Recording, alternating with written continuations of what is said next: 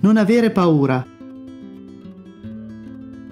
Gesù in questo brano di Vangelo descrive quello che avverrà alla fine dei tempi. Attorno alla descrizione di fatti che possono spaventarci terrorizzarci, il Signore dice non avere paura, non ti preoccupare per quello che avverrà, rimani saldo nella fede e non dubitare della misericordia di Dio. Dal Vangelo secondo Luca. Mentre alcuni parlavano del Tempio che era ornato di belle pietre e di doni votivi, Gesù disse Verranno giorni nei quali di quello che vedete non sarà lasciata pietra su pietra che non sarà distrutta.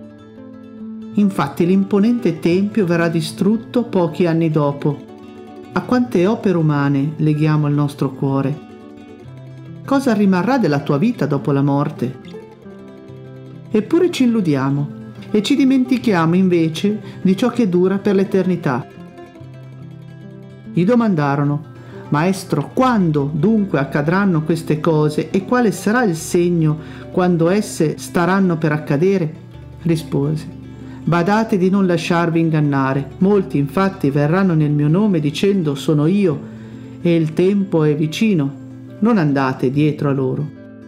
Un esempio sono i testimoni di Geova, che fanno della paura un'arma. Gesù qui invece ci dice di rimanere sereni quando sentirete di guerre e di rivoluzioni, non vi terrorizzate, perché prima devono avvenire queste cose, ma non è subito la fine. Nonostante il male e la paura non dobbiamo temere.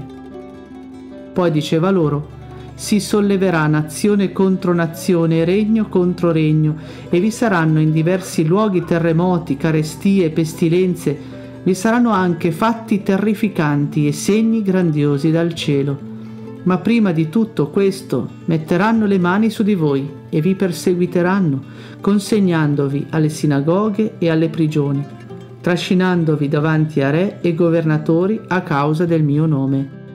Gesù qui descrive un futuro terribile. Cosa ti spaventa? Anche se si realizzasse il tuo incubo peggiore, Dio ha sempre l'ultima parola. Donami, Signore, il coraggio di esserti testimone avrete allora occasione di dare testimonianza. Mettetevi dunque in mente di non preparare prima la vostra difesa.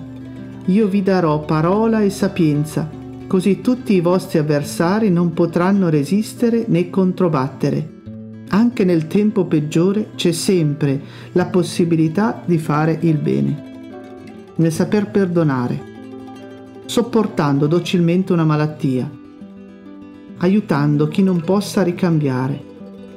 Sarete traditi perfino dai genitori, dai fratelli, dai parenti e dagli amici e uccideranno alcuni di voi. Sarete odiati da tutti a causa del mio nome, ma nemmeno un capello del vostro capo andrà perduto. Con la vostra perseveranza salverete la vostra vita. Saprò confidare in Dio anche nel tempo della prova? Ti prego, Signore, per tutti i malati, per i cristiani perseguitati, per i bambini che soffrono per la guerra, per coloro che soffrono e vivono nella solitudine.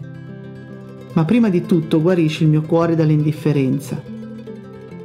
Donami, Signore, di non disperare mai, anche nei momenti peggiori. Iscriviti al canale e attiva la campanella per le notifiche. Per il libretto di avvento trovi il link in descrizione. A domani!